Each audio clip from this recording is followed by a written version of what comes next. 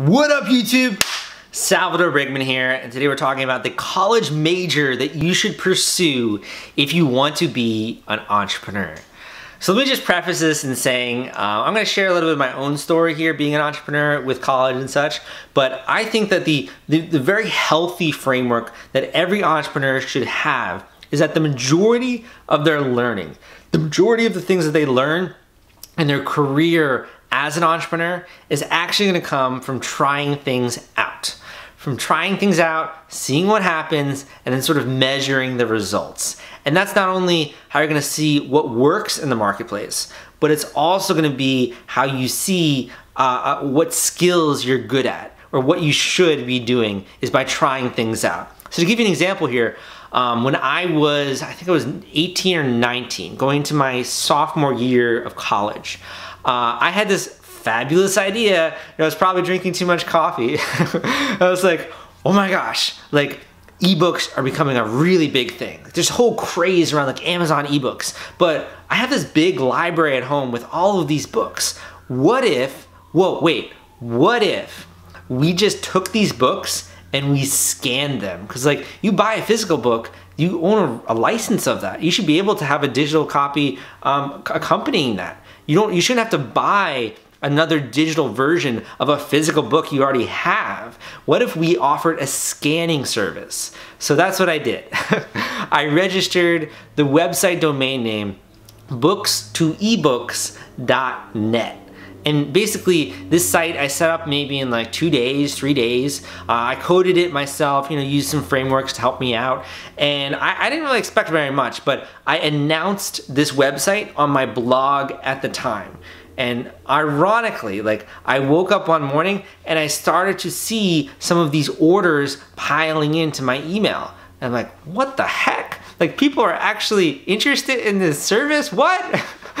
So I had people, legitimate people around the world interested in this service. I was like, oh my gosh, like Sal, you're gonna be a millionaire.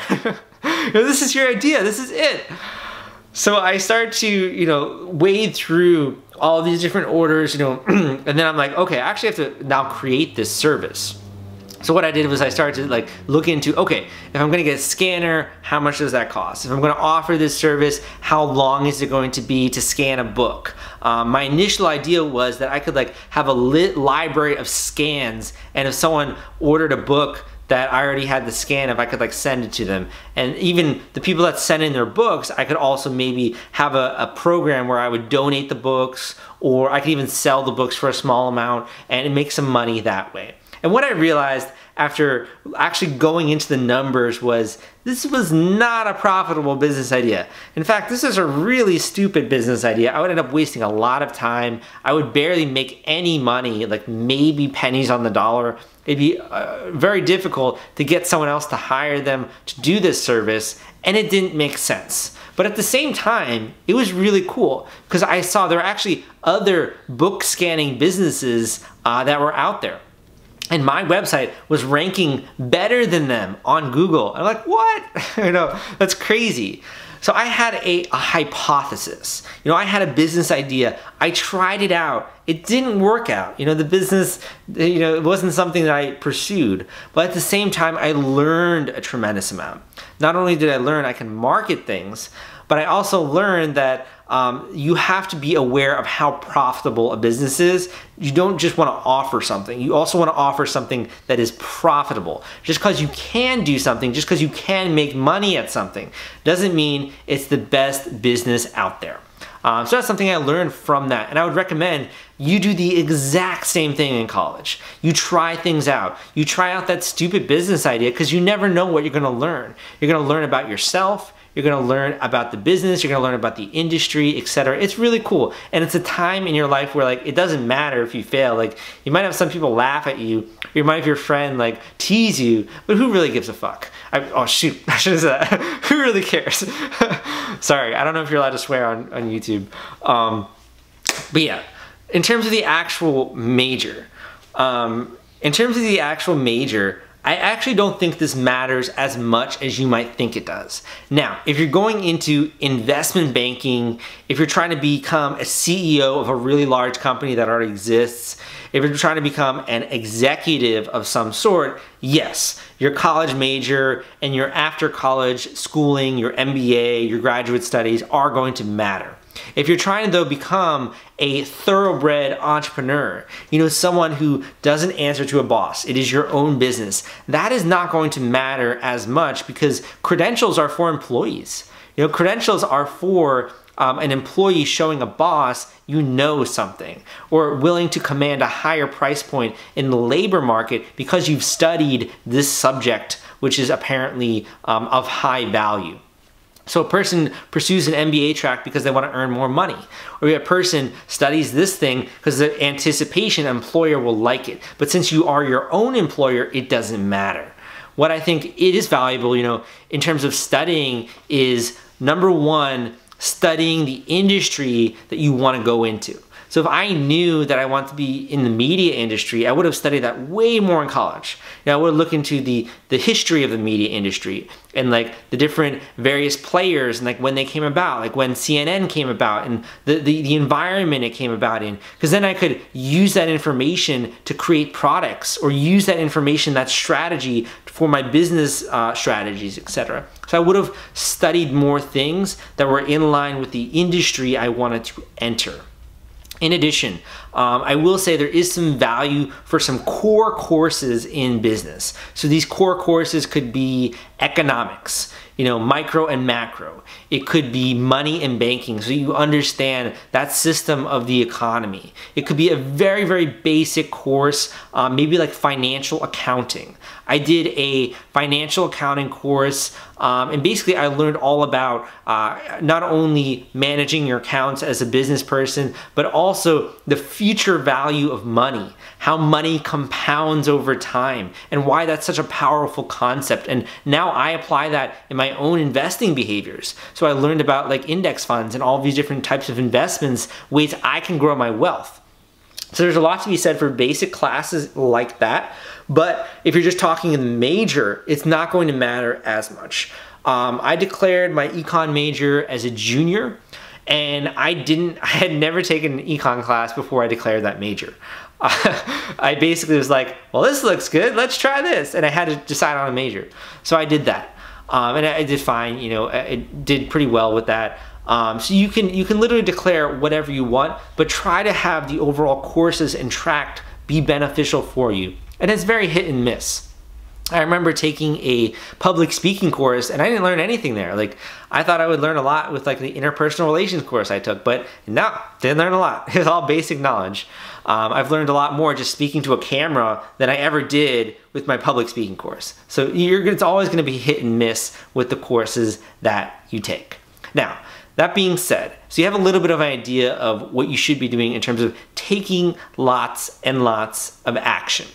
Um, I think that for me at least, the, the second business venture that I had uh, showed a tremendous amount about what I'm good at and what I'm not. So this is hard to recognize just from a studying, just from your academia, what you're actually good at. You actually have to have jobs, or you have to have internships, or you have to actually be doing work to figure that out. Um, in terms of the second business venture, basically, I met this guy about my same age. I think it was maybe 19 or 20. And we had this idea to create a music sharing website. And this site would be kind of similar to SoundCloud or Bandcamp, and you could also collaborate with musicians. So you can have a musician that creates maybe um, the singing, and you have another musician who creates the, the bass or like you know other musical instruments. You can combine it all together into one track. it's kind of like GitHub, but for music. It sounded like a cool idea. So number one, we had a cool idea. Number two, we're young, we're ambitious, we think we can do it. Um, then came the execution part, and this is really where it became a little bit sticky. So the execution part, we created the website app, but it didn't function as most people thought it would. It was kind of clunky, wasn't very well designed. It just wasn't um, compelling enough of an application to get people to use it. I think at our high point, we had like maybe 200 or 300 users. Um, and people, like some people were uploading some stuff, but it wasn't any kind of way viral activity. And also, people didn't really come back to the website. You know, it wasn't compelling enough for them to, to keep uploading their stuff. So, what I learned from that was I am not a thoroughbred coder you know, I know how to code. Like I know how to do like CSS, HTML, PHP a bit, Ruby on Rails a bit. Like I can figure out programming. I can figure out, I did Java for like two years in high school. I learned C++, um, learned a lot of basic languages, Visual Basic, etc. But like I am not a thoroughbred coder you know it's not my role i think within a startup to do that i'm more of a content guy i'm more of a marketer i'm more of a salesperson um, that's sort of my own, I think, makeup or my genetic makeup as an entrepreneur. And I learned that from that venture because had I been a coder, I would have been able to execute much better, much more rapid. Um, we would work way more in sync. I'd be more enthusiastic about that side of the business. And I also learned that um, at that point in time, I was far more committed to entrepreneurship than my co founder. Uh, I was willing to move to New York City without any job without any money really and try to hack it with the business and he was not willing to do that uh, so I learned I had a really intense drive for this thing, which which has led to most of my success. Was just being willing to work a lot, being willing to um, have that level of hustle. So that showed me something about myself. Now that's the same thing that's gonna happen when you begin to try things out. A great framework for this, I recommend the Lean Startup by Eric Ries. So the lean startup, it's the very basic framework of rather than trying to maximize for profitability or trying to maximize for revenue when you're starting a company, you should maximize for learning about your customers. So you're doing things to learn as much as possible about your customers. Um, and sort of the, the, the framework here is you have a hypothesis about your customers. You try it out, you analyze the results, and you see what happens. That's sort of the framework for the lean startup. So I recommend checking out that book. Last story I'm gonna share here, because I don't want this video to be too long for you guys, is um, when I was also in college, I tried out this other startup called, uh, it was for an applicant tracking system, which is basically a recruitment software solution. So if you're a recruiter, you would use this software in order to um, do your job or if you're trying to hire people at your company, you would use this software to process applicants and such. And the co-founder I also met at a networking event. He was older than me. He had already invested $200,000 into the startup. And it was my job basically to be the salesman, to sign up new accounts, um, to do a bit of the marketing, etc. And I would maybe get like 10%, maybe 20% of the business if I worked really hard over a span of years. So I was like, wow, that sounds like a good opportunity. I have a leg up. You know, there's already the app. I thought I had solved that problem, but the end up, what it ended up happening was um, the applicant tracking system was not differentiated enough from the other things out there. And I didn't know that going in because I had never, I was not a recruiter. I had never sold these types of products before. So I learned that you need to have intimate knowledge about the customers and about the target audience to know what's going to work. And you also have to um, really have a, a clear understanding of how it's differentiated from the competition. And I also learned that I think executing my own ideas is far better than executing other people's ideas because the, the previous two ventures didn't end up working out. Um, so that's something really cool that I realized from this venture. I hope you found this video to be helpful if you are looking to become an entrepreneur and you're sort of wondering what you should study.